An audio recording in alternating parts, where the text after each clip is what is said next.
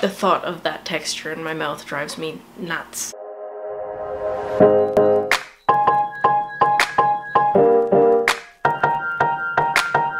Hello, welcome or welcome back. Today I'm going to talk to you about how I'm nesting for my service dog prospect. If you are unfamiliar with the term nesting, pregnant women do it a lot. When they're expecting their child to come very soon, they start getting the nursery already and, you know, just building their little nest. And I'm doing that for a puppy. in this box in front of me, ow, my wrist just cracked.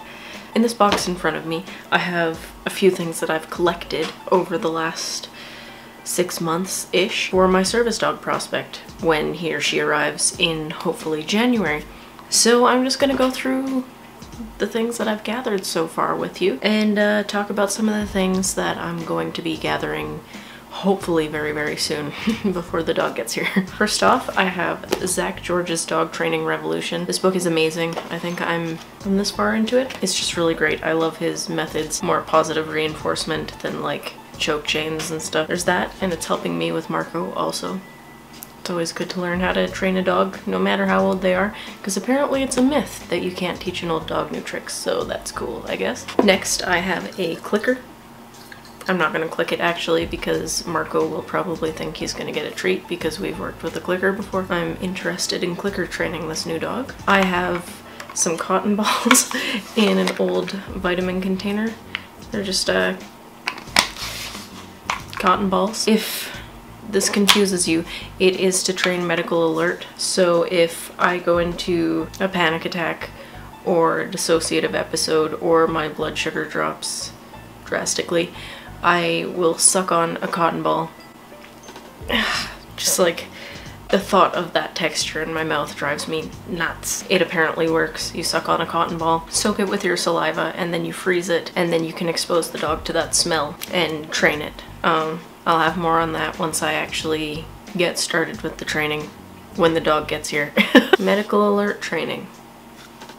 I also have a training log. It's just a book that I picked up at the dollar store because I want to be able to document um, what we're training on what day and I read online that if anybody ever tries to come after you legally this method can hold up in court apparently if you log all of your training hours and stuff if you're a owner training a service dog. So I got this pretty little book. I'm gonna write down everything in it and I'm gonna write down lists of what I want to train and uh, maybe make a little chart that says like if we've started working on it, if we're currently going through it, and if we've perfected it type of thing. I have a poop bag holder.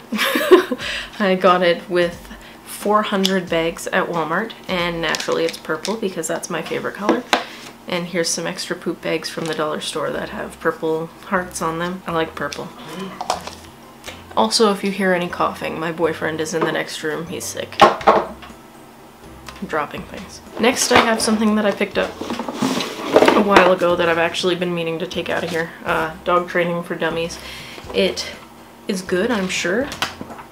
And I might look through it a little bit. From what I've read of it so far, it's not the same methods as Zak George, and I'm just like a huge fan of his work, so I'll probably use his book more than this one, but there you have it. Next we have a treat pouch. It uh, has a clip that can go on your belt. It also has a strap that can go around your waist and has this little whoop, this little clip here that I assume you can put like poop bags on or whatever. And then there's that. I don't know what these are for, I'm not gonna lie to you, but I might, um, oh, I might actually attach the clicker to this. And I don't know what these are for, but they're there. And then there's a Velcro pocket in the front. And then this one that kind of is held open by like a spring action. I like that.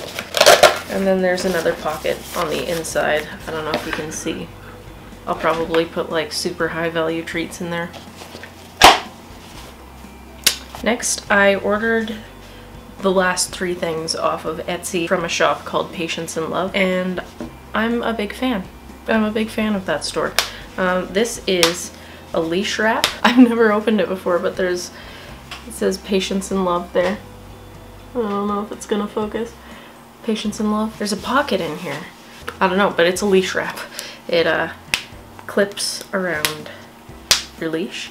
And this one says, in training, please don't approach. I really love this. It seems pretty, pretty sturdy. So I'm just gonna put that on the pup's leash when we start doing public access, which won't be for a little while, but it's good to have this in advance. Last, I have two patches that I'm going to put on the pup's vest when I end up ordering it. The first one that I got was Anxiety Alert Dog PTSD Panic Disorder for obvious reasons.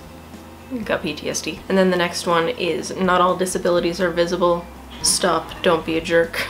They're pretty good quality and they were really affordable and a very good price for the quality. And I love the colors. I like uh, vibrant colors. I ended the video and realized that I didn't show you my binder, so I'm just gonna pop this in the middle of the video. I have a binder, and it is full of information. Let me see. I don't know if you can see how many pages that is, but it's quite a few. In here I have like service dog laws in Alberta and notes that I took from uh, posts that I saw on Tumblr and stuff, which is a very great resource by the way if you look up the tag service dog in training on Tumblr. There's a lot of good advice to be found in there. There's a list of things to look for when temperament testing, which is something that I'm going to be doing very soon. There's this list that I've seen everywhere on the internet of 100 plus things to socialize your dog to. What else? Oh, I'm hoping to adopt through Positive Match Rescue Foundation. Um, I want to get as young of a puppy as possible to avoid any um, trauma in its past and anything that can't be trained out of it fear-wise. so I have their adoption policies and everything's looking good so far. The only thing that I'm waiting on is the landlord consent form because they don't want to send a puppy off to somebody's house that is not allowed to have a puppy and then have this animal go back into the rescue or even worse, be abandoned on the street.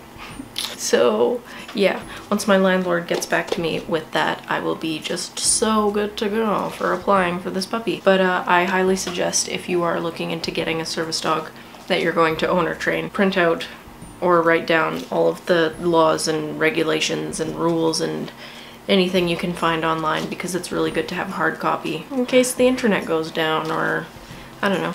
That's just a thing for me. I need to be able to write it down and hold it in my hands and use a highlighter on it. So that's my binder. that's all the stuff that I have so far. Um, we have also a crate that we're going to be using. Things that I'm going to be acquiring over the next little while hopefully are a baby gate, um, a training vest, an Easy Walk harness, which is just a harness that attaches in the front. We have one for Marco and it has been working beautifully over the last couple months since we got it. And I want a short leash and just a regular length leash for public access and stuff. I don't know. Um, what else? What else? What else? What else? Uh, feeding dishes for the new puppy. Mm, a new bed. There's a bunch of stuff. Um, if you are interested, please in no way, please do not take this as a me telling you you have to buy me things. But if you want to send us any of the things on um, the puppy's wish list on Amazon. It is linked as always in the description below. Please don't feel pressured to do this, but if you are a friend or family member or other person who wants to send us a gift for Christmas or anything, I would love anything on that list. um, it says that the list is for the service dog and for my YouTube channel because there's a ring light on it and that is strictly for me. It's not for the puppy's use at all. That is all I have for now. Um, if you have any questions or suggestions for products to acquire for this puppy before it comes, please talk to me in the comments. I would love to hear what you have to say. any help is always appreciated. Thank you so much for watching, and don't forget to be kind to yourself and others today, and I will see you very soon. Bye!